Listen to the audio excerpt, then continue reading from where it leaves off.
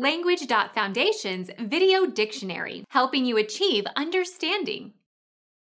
The activity of designing and constructing aircraft.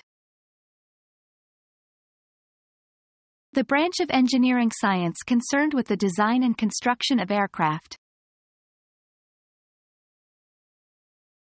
Become our student and get access to effective and free educational materials. Subscribe to our channel to become a part of our growing community and to learn English effectively.